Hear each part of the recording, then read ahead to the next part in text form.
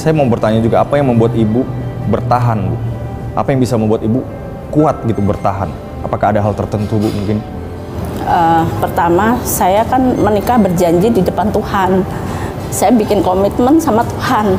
Apa yang dipersatukan Tuhan nggak boleh diceraikan sama manusia. Tapi kalau toh uh, kamu menceraikan saya, kamu yang bikin pilihan itu bukan saya. Gitu. Saya berjuang aja untuk tetap bertahan. Belajar untuk tetap punya pengharapan walaupun kelihatannya nggak ada pengharapan gitu.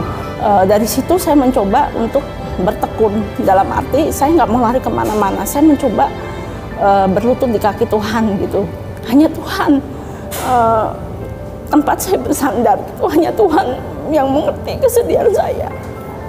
Hanya Tuhan yang mengerti e, bagaimana saya kuat melewati semua ini gitu.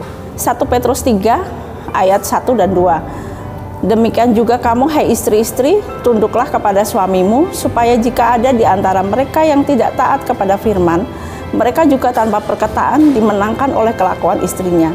Jika mereka melihat bagaimana murni dan salahnya hidup istri mereka itu. Gitu. Jadi ketika saya mengenal firman, saya merasa Tuhan tuh nggak jauh gitu loh. Uh, dan saya merasa uh, ada damai sejahtera. Walaupun kondisi saya tidak memungkinkan untuk damai sejahtera dan saya merasa oh, thank you Tuhan gitu.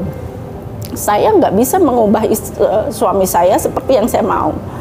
Tapi Tuhan sanggup mengubah suami saya seperti yang Tuhan mau bukan seperti yang saya mau gitu. Yang Tuhan mau apa gitu. Saya baca ayat ini uh, dan saya mencoba berubah.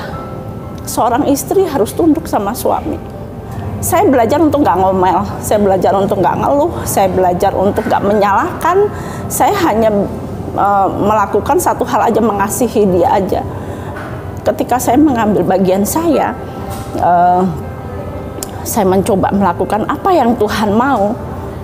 Kita nggak pernah tahu ternyata Tuhan itu sanggup gitu loh.